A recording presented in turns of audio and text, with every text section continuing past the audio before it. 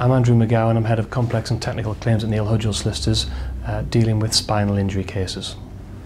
Injuries to the spine caused in accidents can be from a number of reasons. It could be a road accident, it could be an accident at work, it could be an accident where you've, for example, fallen off a horse. If you're involved in an accident and sustain injuries to your spine, they can be devastating.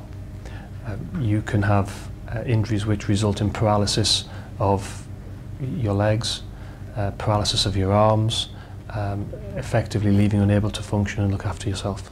Neil Hudgell solicitors, we have extensive experience in dealing with people who have been involved in accidents where they sustained injuries to their spine.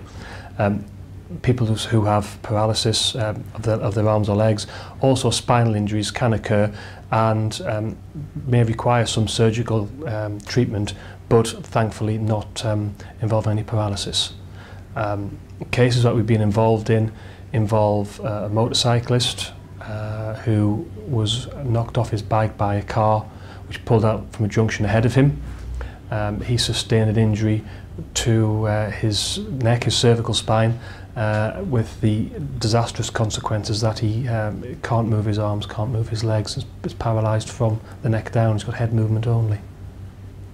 Um, we've had other cases involving passengers in cars wearing seat belts where uh, the car's been involved in a, a high velocity accident um, and the seat belt has restrained the passenger but the forces involved were, were still so high that spinal fractures were, were sustained. At Neil Hudgell we understand what's involved both for the person who's been injured but also importantly for the family around them. Our experience in dealing with spinal injury cases gives us uh, access to a wide uh, range of, of care providers and care networks who can provide assistance both to the injured person but also important to family members who at that time haven't got anybody else to turn to. Uh, it takes the burden off them uh, and allows them to concentrate on dealing with the, the injured family member or injured friend or loved one.